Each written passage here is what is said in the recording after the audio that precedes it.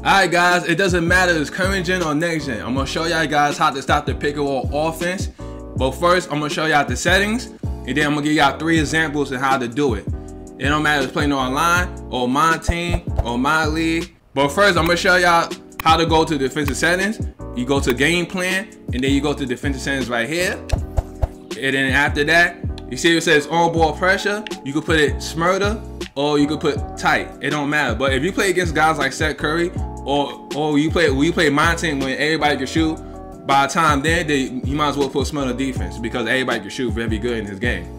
You can't leave them open. Now, on ball pressure, don't don't put deny ball. It's not gonna work.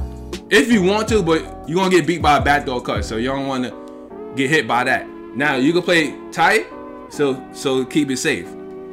Now force direction, it could be in the middle, not baseline. Okay, now hash, you can leave that automatic. Don't worry about that. But with a big man with a center, you can put catch hash because you want them to play between the between the pick and roll. You want you want guys to take the mid-range jumper. A lot of guys don't like take mid-range jumper in today's game. They take a three or drive to the rim. So that way they'll meet the center. It's up to you. If you want to guard the pick and roll, or you can control the center. It don't matter.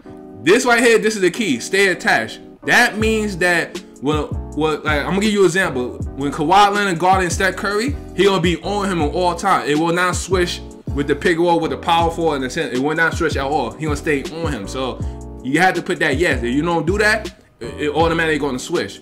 So make sure you put that yes at all times to to prevent that. Now, uh, what else? What else? What else? Let's see. Let's see. Oh yeah, don't forget. Make sure you put no help. Where's the help? Alright, you see it says screen help rules? Make sure you put no all time. No help.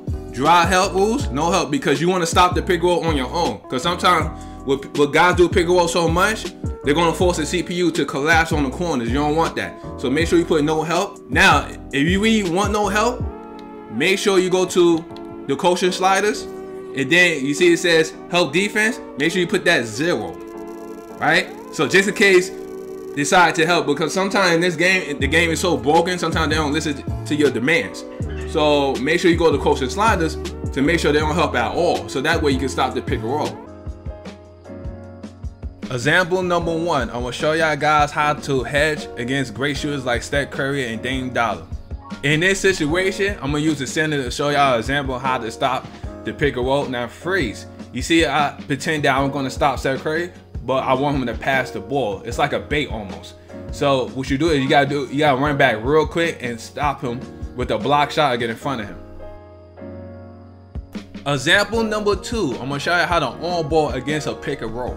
In this situation, you need to go under the screen because you want to force opponent to shoot the ball with Russell Westbrook. You see, freeze. You want your opponent to have a hard time with the pick and roll. He gotta pick his poison A to shoot the ball or B pass the ball. Either or oh, he's stuck in that situation. So that's what you want him to do, to feel stuck. And this is how you force a turnover or you get stops. Example number three, I'm gonna show y'all guys how to avoid getting stuck on the screens. Okay, now freeze. Make sure you study your opponent's weakness because that's very important how to stop the pick and roll. To avoid getting stuck in the animation screens, you go around it or you go under. So that way you can force this guy to shoot because he'll not shoot with Alonzo Ball. He got a slow jumper.